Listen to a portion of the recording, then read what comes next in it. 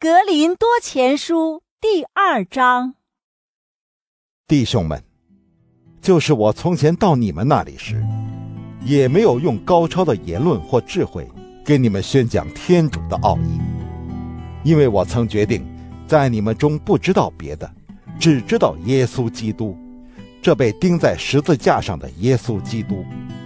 而且当我到你们那里的时候，又软弱又恐惧。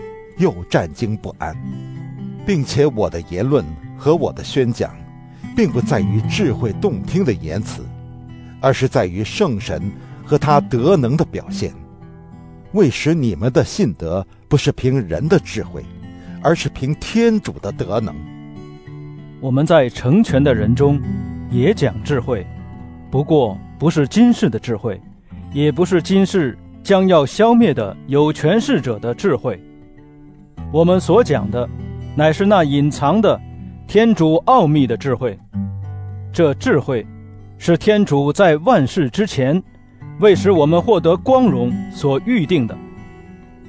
今世有权势的人中，没有一个认识他，因为如果他们认识了，绝不至于将光荣的主钉在十字架上。经上这样记载说。天主为爱他的人所准备的，是眼所未见，耳所未闻，人心所未想到的。可是天主借着圣神将这一切启示给我们了，因为圣神洞察一切，就连天主的深奥事理，他也洞悉。除了人内里的心神外，有谁能知道那人的事呢？同样，除了天主圣神外，谁也不能明了天主的事。我们所领受的，不是这世界的精神，而是出于天主的圣神，为使我们能明了天主所赐予我们的一切。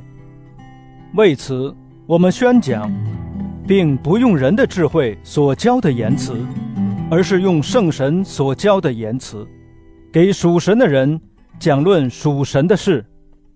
然而属血气的人，不能领受天主圣神的事，因为唯他是愚妄，他也不能领悟，因为这些事只有借圣神才可审断，唯有属神的人能审断一切，但他却不为任何人所审断。